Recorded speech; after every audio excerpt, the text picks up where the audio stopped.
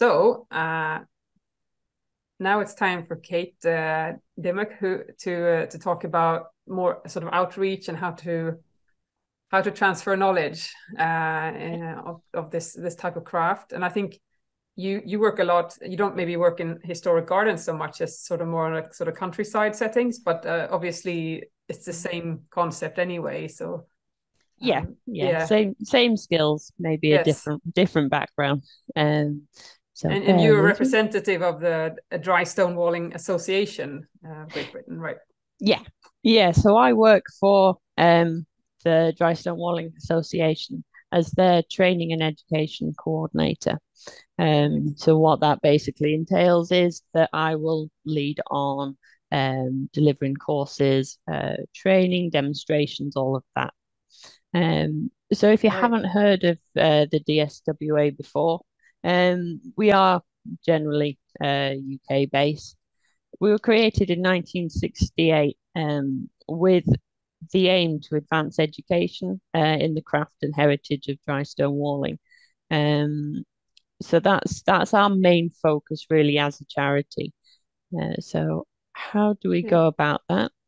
Hang on, I think so. Me, Joachim, and me will uh, sign off now and just hand it over to you. So just uh, okay, yeah, yeah, take it away. okay, no worries. Okay, so the aims then of uh, the DSWA or Dry Stone Walling Association. Um, these come obviously from that charitable aim about education in the craft. Um, our main ones are these four. So skills for the future. We obviously want to maintain uh, the dry stone walling skill uh, for future generations because once we lose the skills, we obviously lose the dry stone walls. And here in uh, the UK, Great Britain, they are very iconic with some of our countryside. So, for instance, our national parks like the Lake District and um, in Yorkshire, they're synonymous really with uh, that type of landscape. There's no formal uh, college courses here in the UK for dry stone walling skills, so it's very traditional in the sense that it's a passing of knowledge from one craftsperson to another. Um, so as a charity, we try and maintain the momentum of that to keep it going uh, and encourage people to pass on their skills.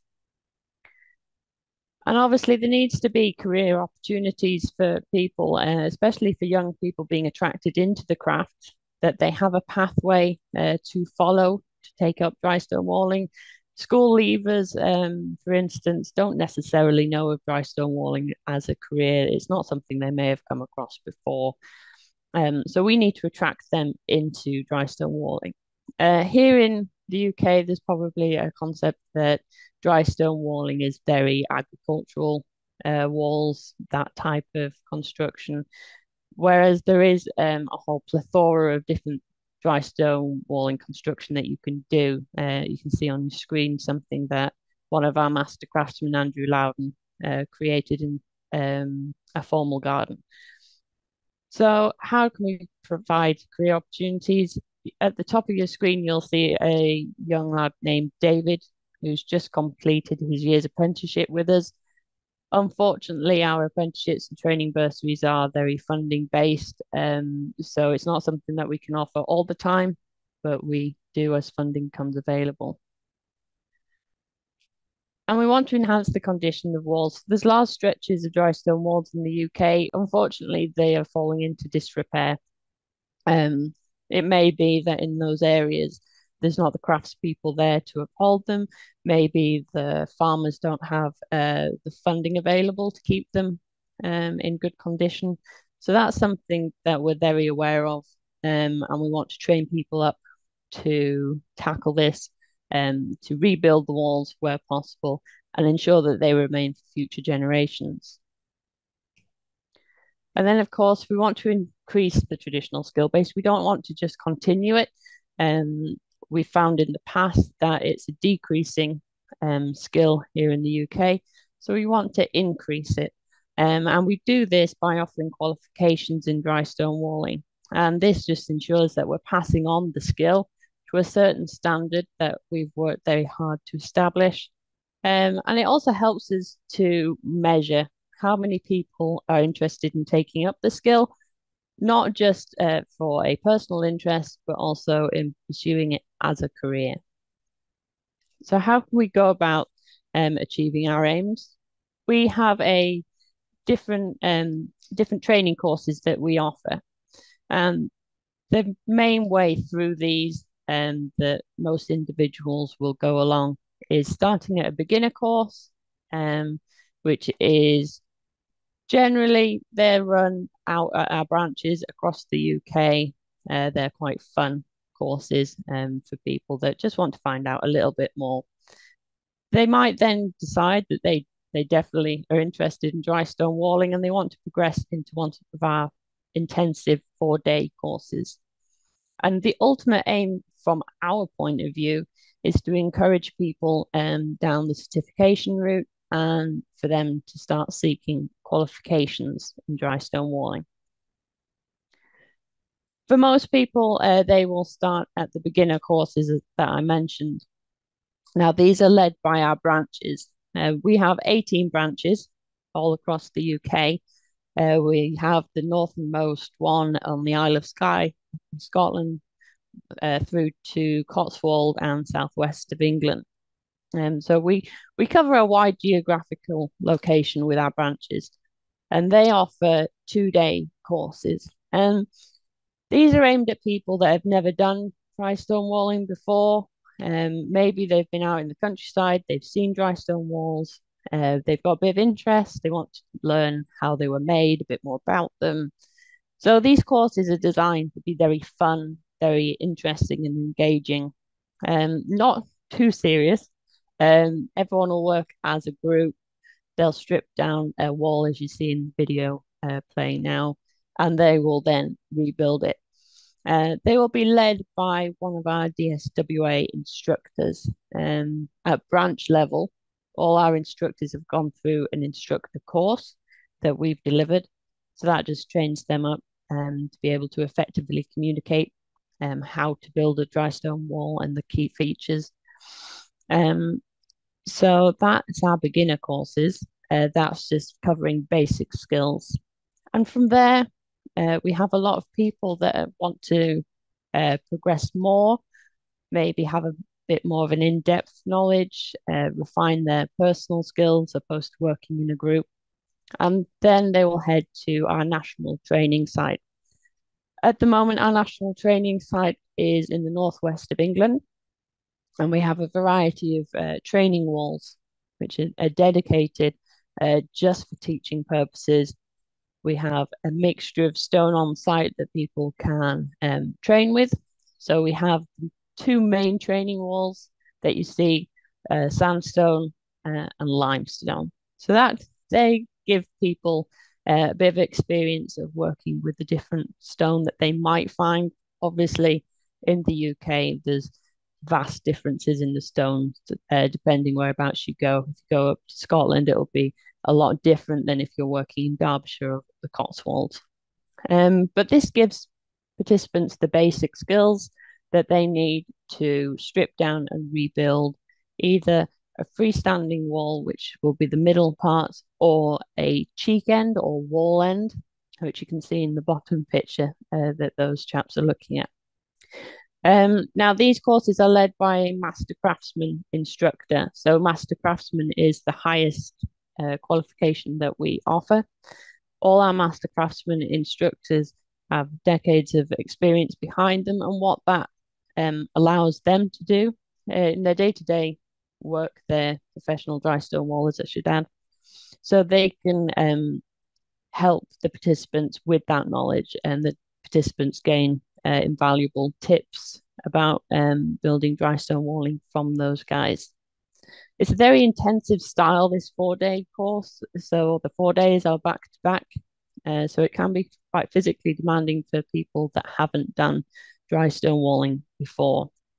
Um, but most people that come on these four day courses, uh, these courses run Monday through Thursday, they're looking at following the certification route. Um, maybe they are looking at dry stone walling as a career, or we also have quite a few people that are retired professionals from other backgrounds that are volunteers for different organisations. So, for instance, uh, the National Trust or the Woodland Trust, we have quite a few people um, join us from there. So it just equips them with the skills they need to build dry stone walls. And from there, they can move on to the certification route. Now, not everyone um, is interested in following this route, but we do have an awful lot of people who take up the level one. So if they've done the four day training course, they may as well stop for the fifth day and do their assessment in their level one. And what this demands of people is that they strip down and rebuild a freestanding wall of 2.5 meters squared um, in a seven and a half hour period. So it's very demanding uh, in terms of the time frame. Um, but happy to say in 2023 we've had 100% success rate. So once people have been trained up in that uh, training course, they're fully equipped to um, set two on their level one. Now, I should just say that we run our certification days globally. So we, in September, run uh, certification days in the US, in Canada. We've got a day in Australia in March next year. So it's um the certification that we offer is globally recognized. So we're, we're quite proud of that. Once they've done their level one, then uh, they can move on to their level two, which is the first of our qualifications that we deem to be um, one for professional dry stone wallers. It's technically very demanding. So, as you can see in the picture, all these chaps are around the level two stint of a wall end or a cheek end. The terminology uh, differs depending whereabouts in the country you are, but it's basically that section of wall that you can see right at the end um, and how that ties in to the wall behind it. And then we can move on to the level three. Um, this is solely for professional dry stone wallers and it brings in uh, two different parts. So we bring in uh, the idea of features um, for this level. There's one feature which is in the photograph in front of you.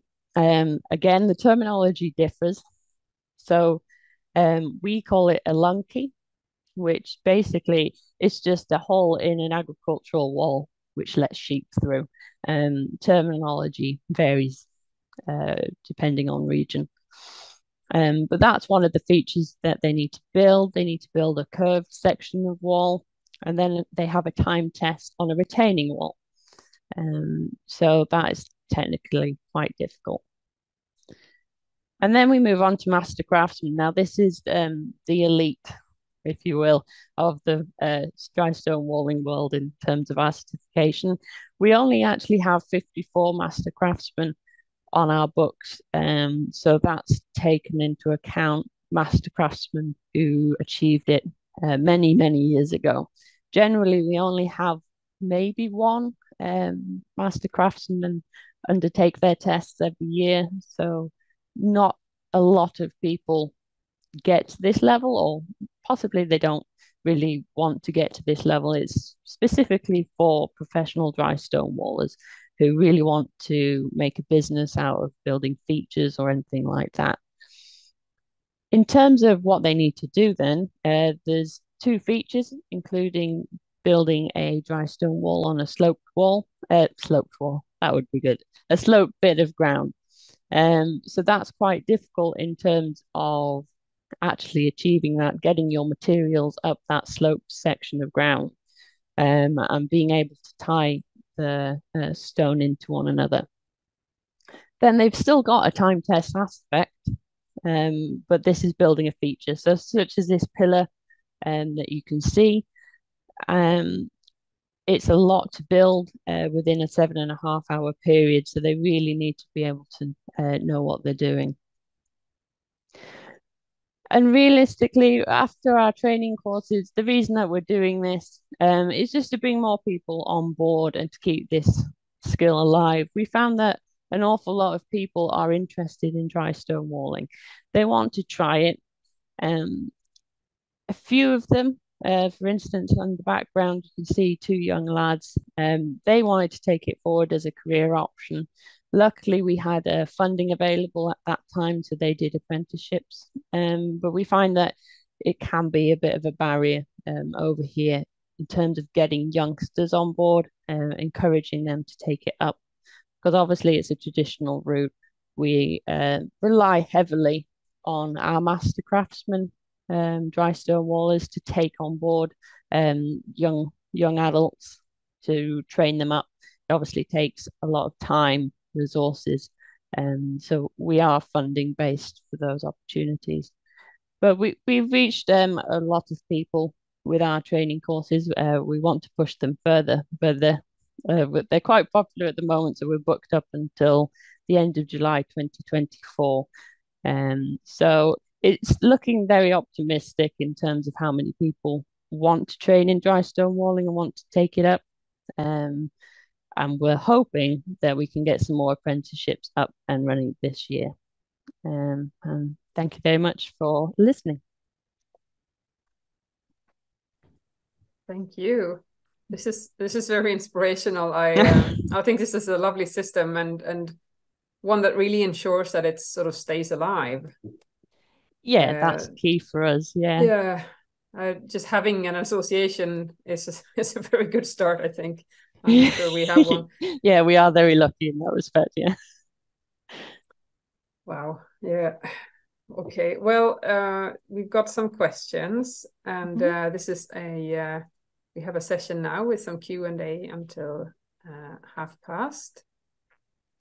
So Joachim, uh, if you want to, Joachim Lilia, if you want to show your face again, uh, you can join in here. Yeah. But we'd, we'd start with um, with with a question here in the Q and A area with um, historical dry stone wall preservation. Uh, should we remove every upgrowing plant, or should we leave plants like ferns and perennials that might not destroy the walls like trees would? Yeah.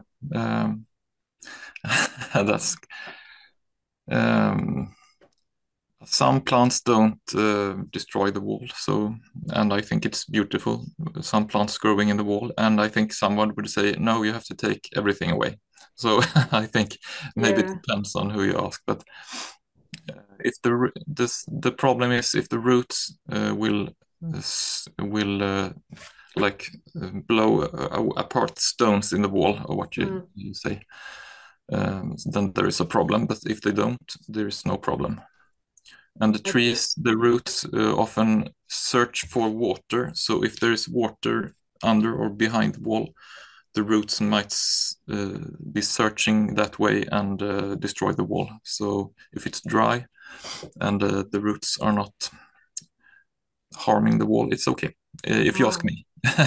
Okay. yeah, I imagine. I, I mean, there are some plants that have very very shallow root systems, like sedums and sempervivum. You know, plants like that mm. probably be quite harmless, but but it's hard mm. to know with other perennials how deep they go and you know, permeate. Yeah, yeah, yeah. You have to keep an eye on them. If you see any changes in the wall, you have to take them off. Right. Mm. Uh, and um, is it possible to make a wall like this without geotextile or isn't that advisable? Yeah so if we're doing it historically. Yeah.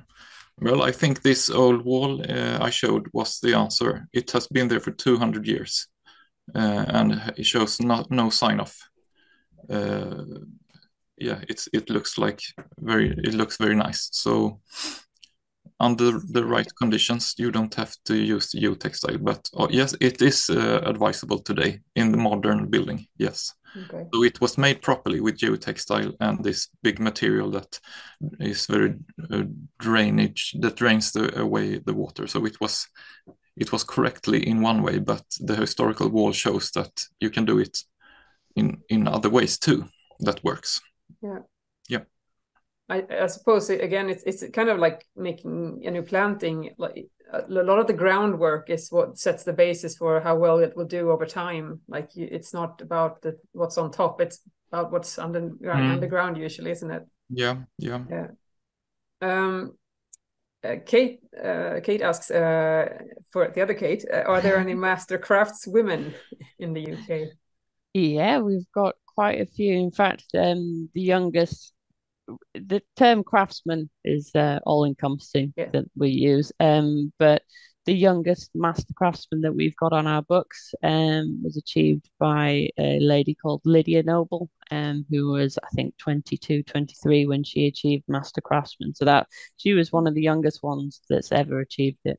Um, Nice. so yeah, we've got quite a few, and we've got more coming on board, which is good to see. Great. Uh, Mercy has posted another poll for us here. Uh, so please click on that link and it says, uh, what types of walls do you have in your garden? Do you have like dry stone walls or do you have walls with mortar or such? So please answer that. Um, is there like a similar education in Sweden? Uh, Joachim, what, what does it look like education wise for this type of stuff? Uh, no, there's nothing I know about. No, I took a, I think one or two day course in spring, but uh, it it would be the equivalent of the introduction level, I think, in the UK. Yeah, yeah, yeah. Some sometimes there is some short one, two day courses, Yeah. but not at all like we saw from England. That's something else. Gunnebo has uh, is is trying to get, get uh, push through uh, an application to to start a longer uh, course for professionals to to get green professionals or people to actually yeah start working with this but uh, it's uh, state funded so we'll see what they say uh, we were handing in the application uh, in uh, february or so and i think we were gonna we're gonna hear a little bit more about it toward the end Yeah. here uh, so so we're hoping to to to start one uh, at Gunnebo, but uh, it's in the hands Yeah. of the state Yeah.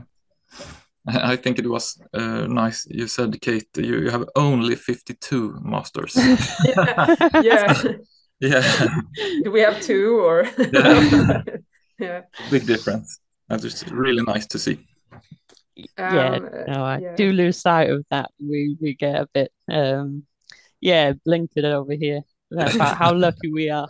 you Yeah. are you are in this in this sense you are and i think it's interesting because it seems uh, that like there there are many professional opportunities. And while there is a demand in sweden uh, it seems that it, there's a more of a demand in uk if more that many people can keep um, you know getting paid to do this uh, work. That's lovely. Mm. um i think there's a question here. I think it is for you kate because i think it's from your images. Do the top stones the, the vertically placed stones have a practical function or is it just decorative? Yeah, so the top stones we call them uh, cope stones. Um, where where I am again, regional terms change. Um, but the the practical function is for our walls. Um, they've got two two sides to them, two faces. So the cope stones sit on top and help tie them together. So a dry stone wall, um, during different weather conditions, they kind of like expand, they move, um, so the the copes just help tie them together. And there's another stone further down the wall called a through, which runs the whole length, uh, and it just gives it a bit more stability, really. Right. And it does make them look nice. Yeah. it does it does yeah Yeah. Uh, um, so yeah there's a plan to start an education a shorter education in uh, norway as well uh, ingeborg writes in the chat so that's nice to see Oh, brilliant.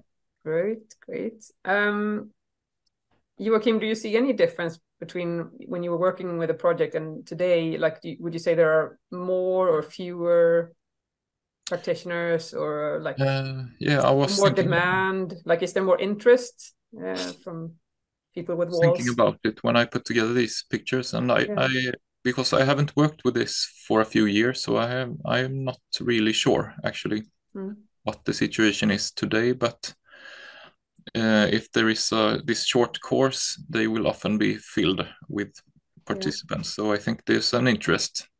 I think so too. And I, I hear a lot from the from the cemetery side, like they Yeah. have massive uh, demand Yeah. uh, for repairs and Yeah. yeah. Yes, we have quite a lot of stone walls and structures that need uh, maintenance right now, and uh, it. I think it's it's still too few people who work with this. Um, absolutely in Sweden. Yeah. Uh, yeah, don't forget to answer the poll, please, as, uh, because we will move on to the next question in a while. Um, okay, so the Swedish, the Church of Sweden has some internal uh, courses for for their uh, staff, and uh, that's okay. great to hear. I uh, yeah, I, I, suppose that's a way of solving the problem when nobody else is doing it. Mm. To just build your mm. own courses, yeah. Um, what is uh, the main advantage of dry stone walls over the ones with mortar? What would you say, guys? yeah. Well, well more. Uh, okay, you take it, Kate. I was going to say, from our perspective, um, it comes back to weather, really. Um, mortar, the stones haven't got the flexibility to move. If they move, then the mortar starts to crack. Um, and especially here, where the weather has been appalling. Um, if rain or water gets in and then freezes uh, in into the mortar, uh, then it starts to break apart and then it, it just starts to fall down. Whereas if you haven't got that aspect, it's just dry stone with the traditional um, coursing and the way of building. It's a lot more flexible, so it survives a lot better in um, the harsh weather conditions we've got, especially. Um, so that's that's really why we choose dry stone over mortared. So more mortared walls would be more common in the sort of warmer climates, like drier, warmer um, climates. They tend we do see them an awful lot uh, in the UK. It tends to be more people's perception of them that they will um, stop up longer. But as you said before, um, when you're looking at traditional dry stone walls, they've been up hundreds and hundreds of years. Um, so I think that perception isn't exactly based on fact. no. No. But then, if you have a, a stone wall in a house, for example, or um, uh, a cellar that needs to be insulated, that's a different thing. Then you can. Okay. Yeah. Uh, but then you you have to protect it from rain as Kate said, it, it cannot be wet. It must right. be a roof or something to protect it. Yeah, yeah. you can see some mortared walls with like actual uh, tile roofs on yeah. them. Yeah. Uh, at least here, yeah. All right. Um, so um, in the UK, do the rural uh, dry stone walls still serve their original purpose of like keeping animals in or out, or uh, like is there a practical incentive to maintaining them because in in Sweden I would say no uh, to that. Yeah, um, especially when you get to the national parks, so like um, the Lake District, Yorkshire, places in Wales, um, the farmers in those areas cannot take out the dry stone walls. They couldn't replace them really with uh, fencing or anything because they're protected. Um, so there needs to be a good reason for them to be able to remove them, and it, they're um, covered really by DEFRA. Uh, outside of the agricultural aspect, it, it, it's a bit different. Um, yeah, but yeah, we're not they, allowed to remove them, but we people put fencing next to them, basically. Or, yeah. yeah, they they still very much um, keep in livestock, um, especially in those traditional areas. Yeah, that's nice because then, I mean, it, it does help if if if you're not just doing it for conservation. Uh, I mean, it, it really does help if you can actually use what you're doing. Yeah, yeah, so definitely. That's, that's nice to hear. Um, okay, um, okay. Let's uh, let's move. Uh, um, let's put in another poll question. Mercy, uh, put put the next one in the chat, please. Have a look at that, and let's have a look at my questions. So, I mean, what uh, in the UK, like who are the sort of main employee employees like uh, employers uh, is it is it the sort of national parks or uh, is that or like who do you work um, for if if you're working with this stuff? They tend to work for themselves. They dry stone wallers over here tend to be one man gangs. Um, yeah but but who who gives them jobs? Um it, it varies really. So um people at one end of the spectrum, they might just be employed by uh, farmers to go around agricultural walls. Uh, but there's more of a demand now for um, features in gardens or that type of construction opposed to just a wall. Um, so, for instance, uh, two of our master craftsmen built dry stone uh, features in the Best in Show at uh, Chelsea this year. Oh, right. Okay. So th- there's quite a demand from a, a garden designer point of view um, to build special features or artistic installations and things like that. Uh, but obviously, the dry stone wallers who are doing that tend to be the master craftsmen or who who've been professionals for quite a few years. Um, yeah. Yeah. Right. Okay, so the next poll question is uh, what are the main threats to dry stone walls where you are, uh, where you're working, where you're living? What's uh, what's going on with them? That's not so great. Uh, and I think uh, we can suspect that water will be mentioned here. Maybe water and trees, it would be my guess. But uh, what, what would you say, Joachim? Uh, yeah, and the lack of maintenance. Then Yeah. you don't um, fix the walls when they fall down. Part of the wall falls down and it and it do- doesn't get uh, fixed, and the wall starts uh, more and more fall down. So, yes, but trees, of course, yeah. But like how how much maintenance like why why do they fall down if if they're well made? What happens? Uh, yeah, but sometimes they do. It could be a wild animal jumping on the wall Right, yeah. or uh, something like that. It's different. Or wild Or uh, chil children or Yeah. yeah or trees as you said um, sometimes uh, one part of the wall can be poorly constructed from the beginning and you have to re- remake it to to make it good again uh, Yeah. things like that So that the where where you get things falling down, it could be a sign of just not not doing the job uh, uh, good Yeah. from the beginning, right? Yeah. Mm, that makes sense. Um, let's see here. Uh, Kate says, yeah, in, in Wales, they appear to have a type of wall where trees are purposely planted on the top. Hmm. Uh, Yeah. other Um, the, yeah. there is a type of walling uh, that we see here in UK is not technically dry stone walling, but it kind of brings in the same thought process. It's called Cornish hedging. Um, so it's got dry stone walling as the, the base, if you will, but it's got um soil rather than the the stone hearting. Um, and then you'll see plants on top of that generally. Um, and I, I, i'm afraid, Kate, I cannot pronounce the Welsh type of walling. um, it's very Welsh sounding, um, and I can't quite get to grasp with it. But there is um a Welsh type of walling as well, which is similar to that Cornish hedging in style. Right.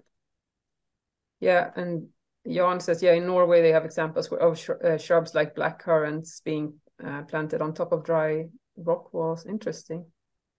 And um, and Espen says about the maintenance that they they have to maintain and they are made for regular maintenance and uh, unlike a wall made with mortar, uh, Yeah. it's it's so sort of more supposed to just stand there and not require maintenance if you do your, the job right. Yeah. Yeah. Great.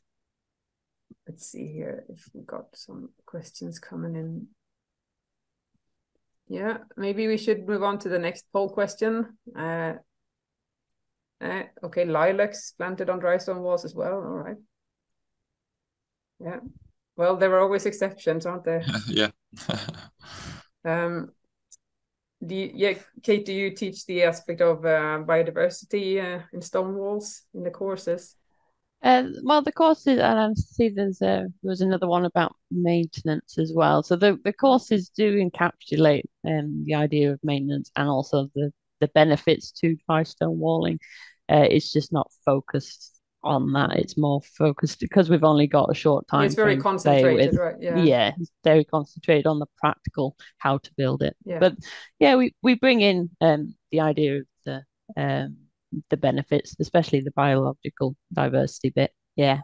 I think we need that uh, as an argument for why we should still have them in some cases. And uh, we are actually going to hear about that very soon here uh, in the webinar. So I'm looking forward to that. Um, because, yeah, uh, but don't forget to click on the next poll question, uh, which is um, okay, is there a time of the year when stone walls shouldn't be worked on uh, that, that you. Um, uh, like when you when you feel like it's it's uh, not recommended. And I think this is more about the biodiversity. So I, th I think we will uh, mm -hmm. actually ask uh, the next speaker this question as well. And uh, but but have you have you guys in the audience been told that this time of year don't work on your walls because somebody's living there or breeding there or whatever? Feel free to answer. yeah. Okay. Let's see here. I think we're good question wise right now. Looks like so. I think actually I'm going to say thank you to uh, to both of you and uh, um, moving on much. to the next speaker. So thank you. Thank you very thank much, you. Joachim and Kate. Uh, in the end panel, uh, I think you can ask questions to basically all the speakers. So um, they, they can all return. So so keep asking questions in the chat, and if it's for a specific person, you can write their name before your question. We stick around. Yes, exactly. They're here in the background.